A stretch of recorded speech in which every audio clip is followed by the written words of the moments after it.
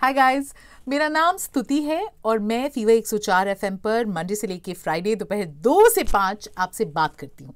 वहाँ मेरी आवाज़ सुनाई देती है और यहाँ अभी आप मुझे देख सकते हैं। और मैं आपको ये बताने आई हूँ कि मैं लोकमत न्यूज़ डॉट इन के कैंपेन स्त्री मानुष को होल हार्टेडली सपोर्ट करती हूँ।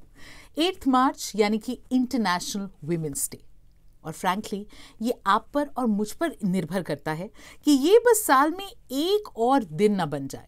इसका महत्व क्या?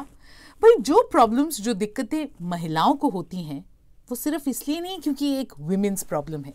Women actually constitute 50 percent of the human race यानी कि ये भी एक ह्यूमन इशू है and therefore the campaign स्त्री, मानुष।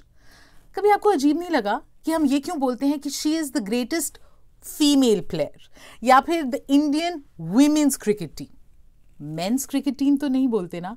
ना किसी मेल खिलाड़ी को बोलते हैं कि he is the first male greatest star तो ये सारी जो प्रॉब्लम्स हैं, ये सारी जो छोटी छोटी चीज़ें हम बिना सोचे समझे कर देते हैं।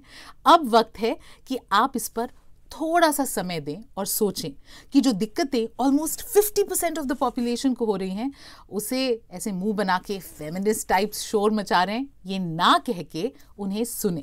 क्योंकि जब कोई महिला आपसे कहती है कि उसे किसी भी चीज़ से दिक्कत है या कोई प्रॉब्लम है तो सिर्फ़ उसकी मदद इसलिए ना करें क्योंकि वो आपकी बहन या बीवी या बेटी है, पर सिर्फ़ इसलिए करें क्योंकि वो भी एक इंसान है और इंसानियत के दायरे में रह के आप उसकी मदद कर सकते हैं।